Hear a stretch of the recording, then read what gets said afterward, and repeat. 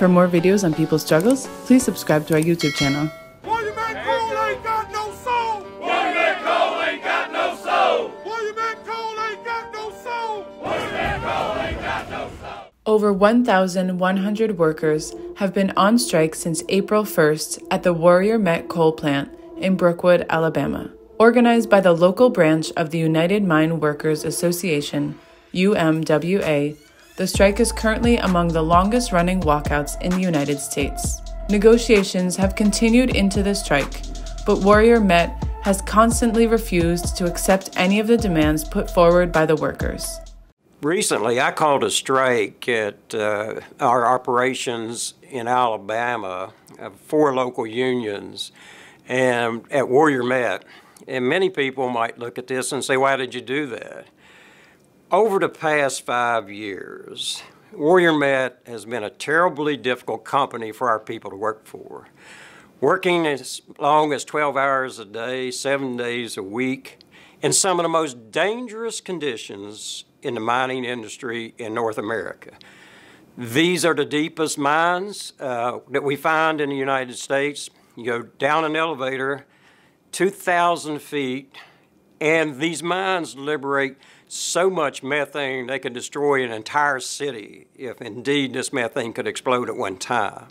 So we have people working in dangerous conditions, in deep mines, long hours, seven days a week, and even working or being forced to work on holidays. Among the measures imposed by the company's new owners in the name of bankruptcy are wage cuts as high as $6 per hour, loss of paid sick leave, loss of holidays, increased healthcare costs, and more. The workers have also complained of ruthless anti worker measures, including layoffs as part of disciplinary measures. Workers are demanding reversal of all of these measures, along with a substantial hike in wages and benefits, to compensate for the losses made by them during this period. Warrior Met is one of the largest producers of metallurgical coal in the United States, which is used to produce steel in North America and Europe.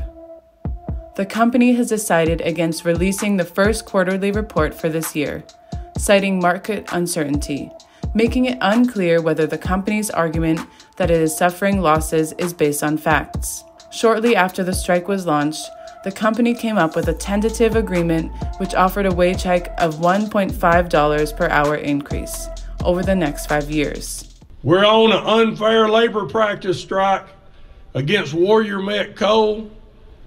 And I don't know about everybody else, but I'm tired of the way they treat our people. I'm tired of the contract we've got. This deal was overwhelmingly voted against by union members, with over 91% voting no. On April 12th, union members voted along similarly large numbers to continue their strike. Ever since then, the union has alleged that the company has become increasingly hostile towards them. A general lockout was imposed that froze some of the non wage benefits that workers and their families enjoyed despite the wage loss. The company has recently hired dozens of outsourced contract workers to replace the strikers, even while negotiations continued with UMWA. The height of which was on May 26th when 11 miners were arrested by the local police from a picket march against such outsourcing.